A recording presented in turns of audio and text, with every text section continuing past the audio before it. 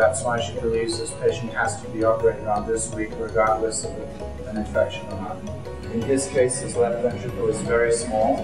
A válvula mitral muito pequena, The mitral valve is very small. A aorta ascendente muito pequena. The ascending aorta is very small. E só, só se... Então, a única maneira desse, dessa criança ter sangue problem everywhere and everybody needs to always be washing their hands, always. What do you think about extubation in the operation?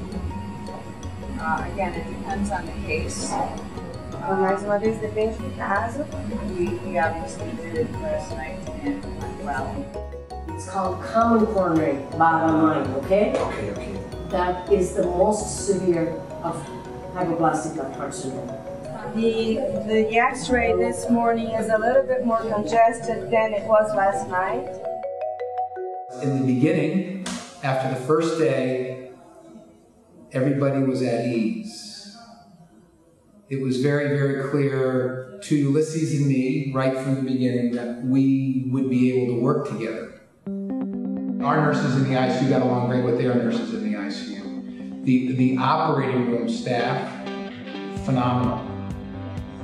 It became very apparent to us that the people here were very, very good already. And they were really looking for very specific things in very specific areas to try to make a very good program become a very great program.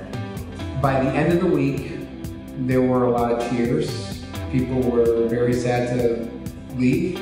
So now, in second visit, it's very, very easy because the persons one uh, know another. So all the time, all the people from Children's HeartLink is very, very educated. I need one word. Thank you very much. And I wait this relation, relationship uh, have uh, uh, uh, They last forever. the last forever.